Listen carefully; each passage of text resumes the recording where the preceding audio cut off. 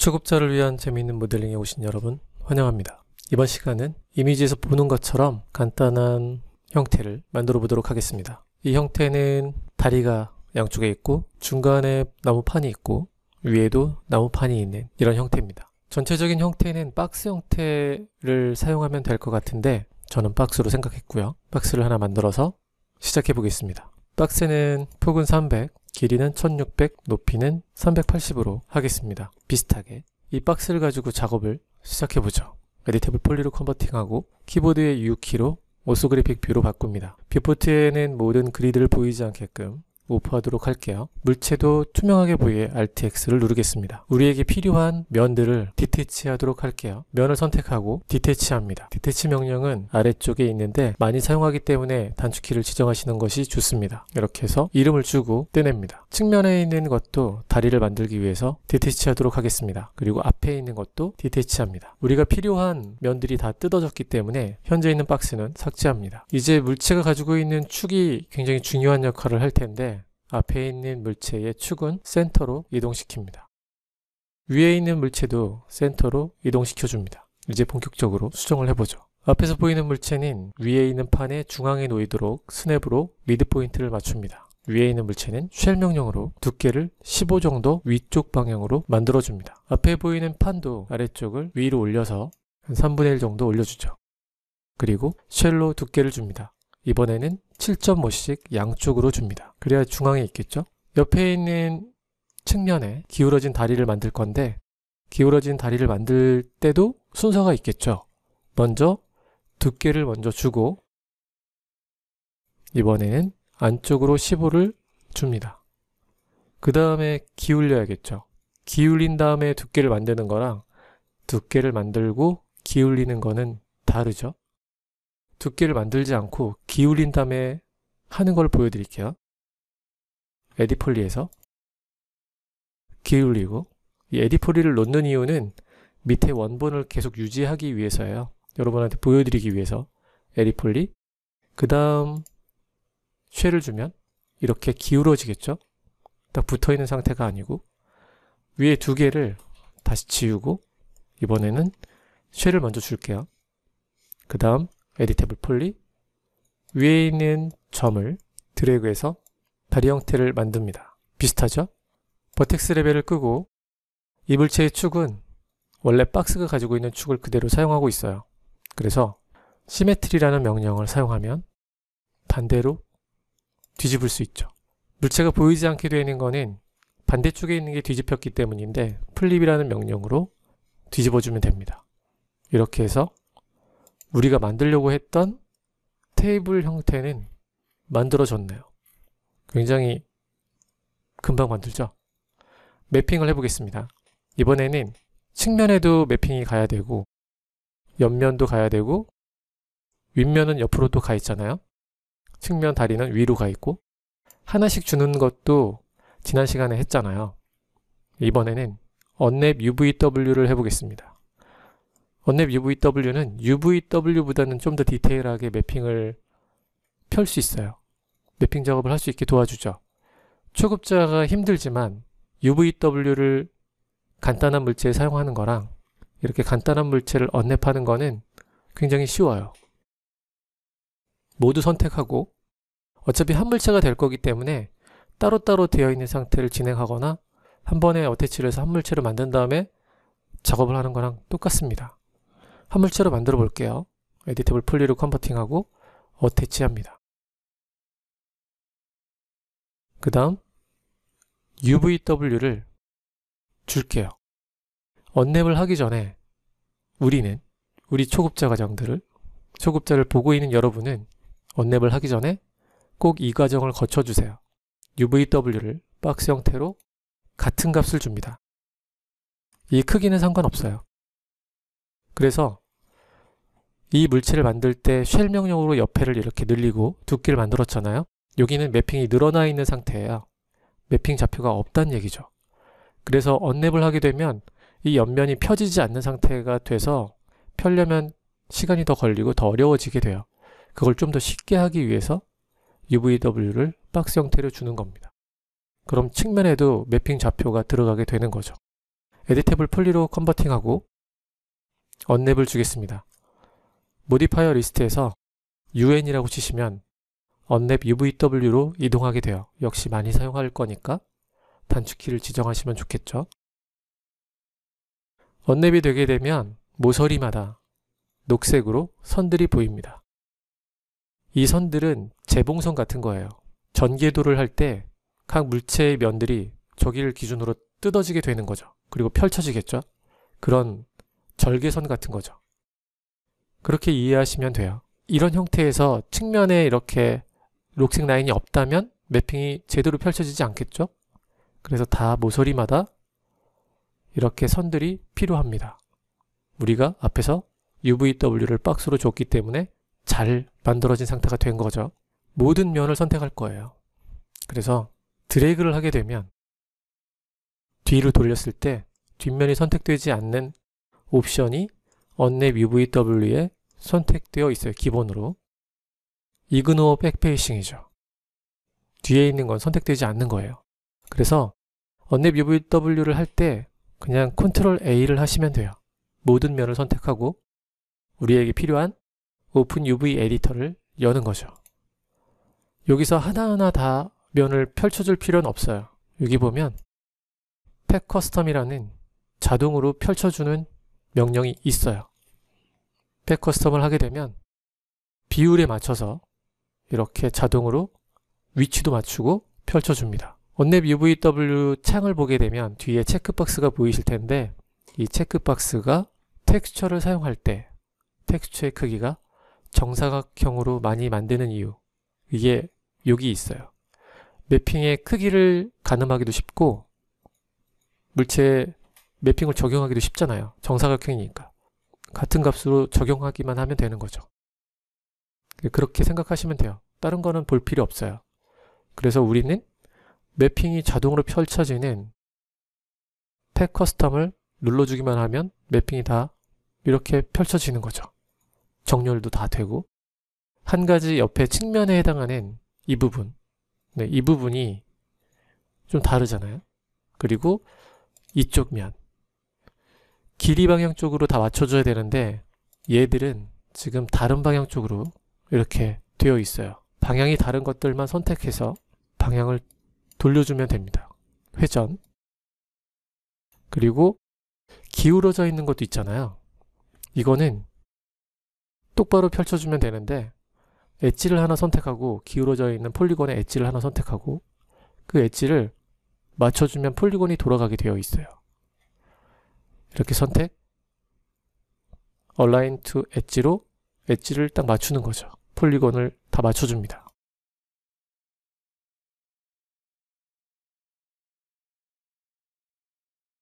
polygon을 다시 모두 선택하고 Control A 다시 Pack Custom을 하게 되면 돌려진 상태가 다시 정렬됩니다. 깨끗하게 정렬됐죠? 이제 매핑을 볼게요. view에 보이는 이 빨간색으로 되어 있잖아요. F2번을 누르면 빨간색이 되어 있지 않은 상태로 볼 수 있습니다. 재질을 하나 추가해서 볼게요. Vray 재질을 화살표를 넣어서 보겠습니다. 물체에 적용하고 보이게 해야겠죠. 뷰포트에서 보이게 켜줍니다. 그러면 화살표가 이 방향으로 가잖아요. 왜냐하면 우리가 매핑을 이렇게 만들었기 때문에 여기에 면들이 이렇게 놓여 있는 거죠. 뒤에 보면 이렇게 매핑 한 장, 화살표가 위로 가고 있는 거죠. 체크 무늬가 매핑 한 장이니까. 그럼 어떻게 할까요? 이 비트맵을 더블 클릭하고 W에 W에 보이는 방향을 W라고 보시면 돼요. 90도 회전을 하게 되면 이 텍스처가 회전하게 되는 겁니다. 그럼 화살표 방향이 이렇게 가니까 위에 보이는 나뭇결을 넣는다고 하면 화살표 방향으로 텍스처가 이렇게 나뭇결이 흐르게 되는 거죠. 그래서 이 방향을 보고 그 방향대로 나뭇결을 놓고 나뭇결을 연결하면 나뭇결이 들어간 상태의 매핑이 되는 거예요. 생각보다는 간단하죠. 그리고 더 세밀하게 조정할 수도 있지만 오늘은 이 정도 넣는 거 Unwrap UVW를 간단하게 사용하는 거지만 주로 사용하게 되는 기능만 알아봤어요. 이렇게 해서 OK 하고 Editable Poly로 converting합니다.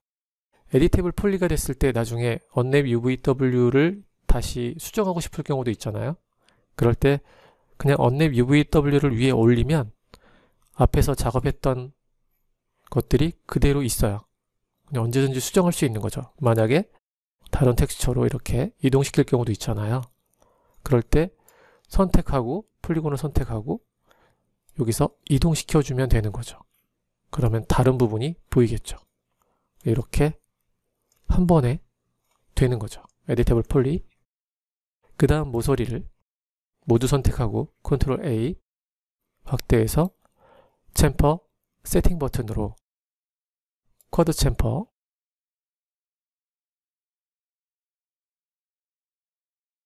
오케이 합니다. 만들어진 걸 보게 되면 챔퍼 때문에 모서리에 이렇게 음영이 생기겠죠? 그리고 이 모서리에는 하이라이트가 맺힐 겁니다. 자 이제 바닥을 만들어 볼게요. top view에서 plane을 하나 만들고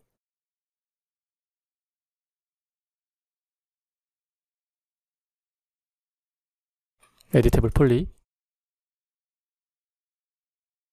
더블 클릭하고 엣지를 더블 클릭하면 이렇게 loop로 선택돼요. F4번 키로 라인을 보면 이렇게 되는 거죠. 더블 클릭 뒤에 벽을 만들어야 되니까 뒤쪽에 있는 엣지를 더블 클릭했고요. 위로 Shift 드래그 됐네요. 여기에 뒤에 보이는 액자도 만들어 보겠습니다.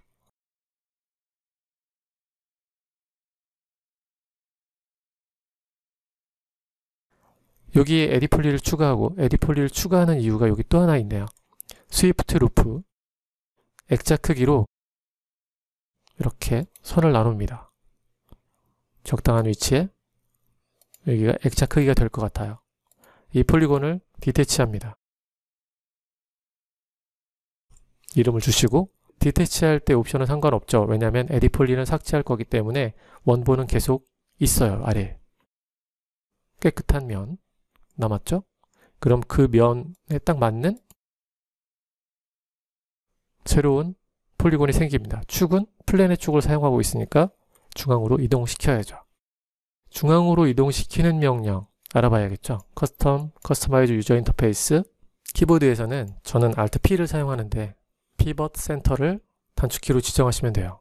단축키를 키보드에서 입력, save 하시면 됩니다. 그래서 저는 한 번에 이동하게 했고요. 이 polygon은 shell 앞으로 튀어나오게 할 거예요. 이렇게 액자니까 두께를 갖게끔 해야겠죠. 이렇게 하고 editable poly inset하고 모서리를 살짝 만들고 이 면은 뜯어낼 겁니다. 그래서 투명하게 보게 되면 이렇게 되겠죠. 여기는 지금 뜯어졌기 때문에 비어있는 공간이에요. 그렇겠죠. 근데 여러분 작업하는 것보다는 이 앞면만 사용하고 control I 하고 control I는 윈도우 상에서 선택을 반전시키는 단축키예요. 맥스에서 똑같이 사용합니다. delete shell 명령으로 뒤쪽으로 두께를 만들어 주시면 됩니다. 아까 쉘 명령으로 앞으로 이렇게 했잖아요. 얘를 앞쪽이 아니라 복사해서 뒤쪽으로 놓는 거죠. 그럼 벽에 딱 붙겠죠? 벽에서 살짝 떨어지는 두께를 주세요. 그래야 여기 음영이 생기고 더 자연스러워지니까 우리는 초급이지만 좀 더 사실적인 그런 모델링을 위해서 이렇게 작업하자고요. 그리고 앞에 가운데 띄어놨던 네, 플랜이 하나 있었죠?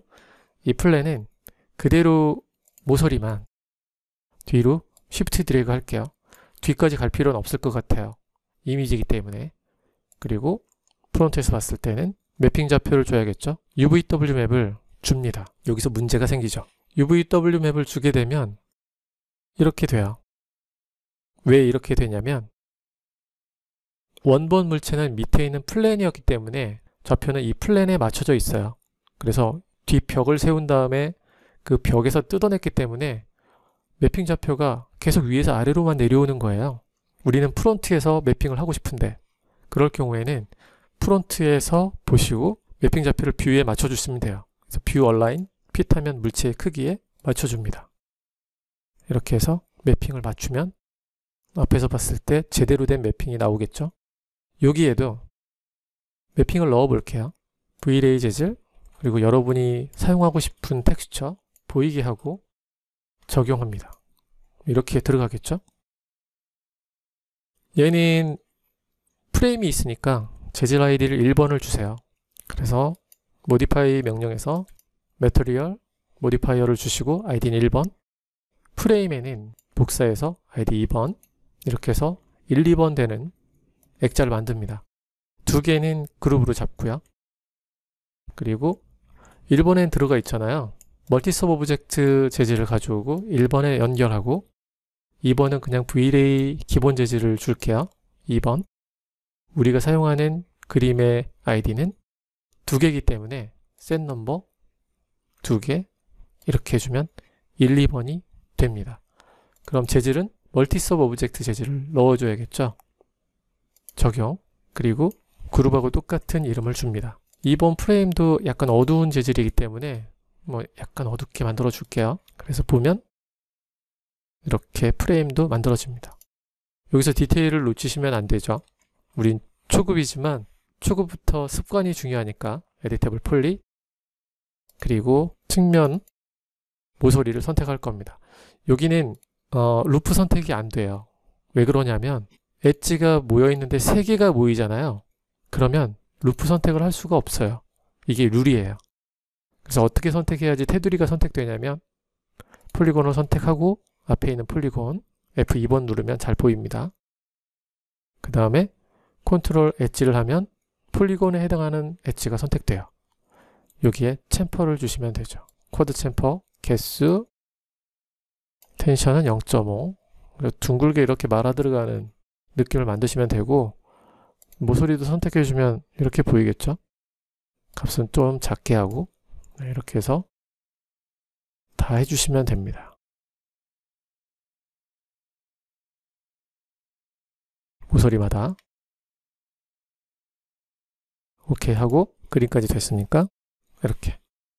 프레임에도 똑같이 해주시면 더 부드럽게 보이겠죠? 모서리는? 모서리는 다 챔퍼가 있으니까 아주 작게라도. 그건 이제 여러분 몫입니다. 이렇게 하고 뒤에 있는 이런 몰딩 같은 것도 만들어 주시면 더 좋을 것 같은데 이런 것까지 다 작업하기에는 우리에게 시간이 너무 길어질 것 같아요. 그래서 모델링, 매핑, 그리고 라이트가 왼쪽에서 좀 더 강하게 들어오고 뭐 그런 것 같으니까 왼쪽에 라이트를 하나 만들고 가볍게 렌더링 한 다음에 마치도록 할게요. 라이트는 Vray 라이트, Vray 라이트를 이렇게 크게 만듭니다. 그리고 측면으로 이동시켜 줄게요. 이렇게 창문에서 빛이 들어오는 것처럼 perspective에서 정면을 보고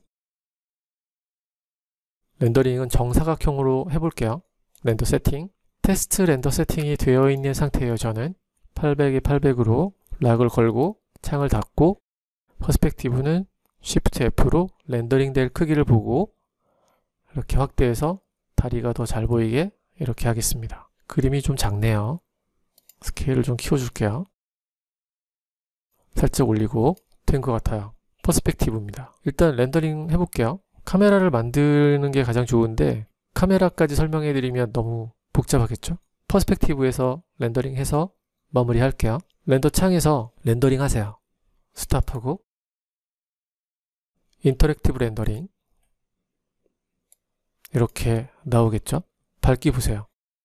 카메라가 없으면 이걸 조정하기가 힘드니까 카메라가 있는 게 좋은데 지금은 perspective 여기 lock을 걸어두고 라이트를 수정해 볼게요. 라이트는 약하게 그리고 사이즈를 좀 키워서 옆으로 키울게요. 커지면 빛이 퍼지겠죠? 그리고 좀 더 멀리 이렇게 놓을게요.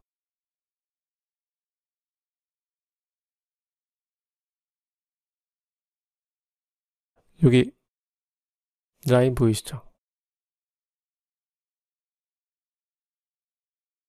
측면 라인 사진하고 비슷한 요 그림자를 보시고 조정하시면 돼요. 됐네요. 대충 이 정도 하고 반대쪽에 하나 복사하고 회전시켜서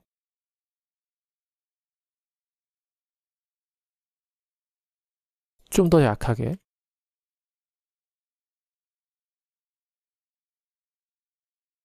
뭐 이런 느낌이겠죠. 현재는 리얼리티를 살리는 것보다는 매핑을 텍스처를 주는 거 위주로 생각하시고요.